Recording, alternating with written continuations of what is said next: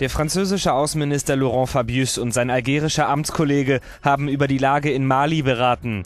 Wie schon zuvor riet Murat Medesi von einem militärischen Vorgehen gegen die Islamisten im Norden des Landes ab. Die Einheit Malis müsse gewahrt bleiben. Frankreich hatte zuvor eine militärische Lösung nicht ausgeschlossen.